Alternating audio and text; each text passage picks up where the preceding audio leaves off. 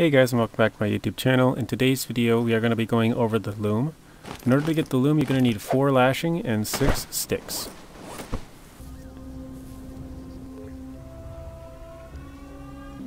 So to create a lashing as you just saw you'll need 4 fibrous leaves and then you can craft the 4 lashing with the 4 lashing and the 6 sticks. You can leave it on the ground but mine uh, was being picky.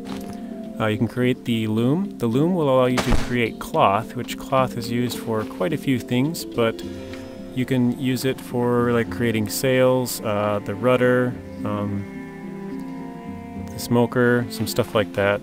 So it's uh, pretty useful. You can also find it out in the wild on shipwrecks and stuff, but if you want to create it, this is how. So here we got four fibrous leaves, and there's our cloth. Thank you guys for watching. If you want to watch another video, there's a random video on screen and another playlist. Please be sure to share the video, like it, comment, and subscribe. Turn on those bell notifications so you're notified when I upload. And until next time, peace.